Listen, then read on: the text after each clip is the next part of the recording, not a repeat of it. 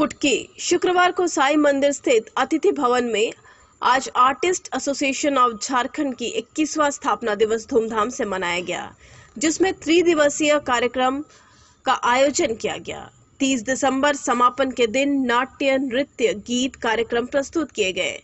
चित्रकला एवं निबंध प्रतियोगिता में प्रथम, द्वितीय एवं तृतीय स्थान प्राप्त किए।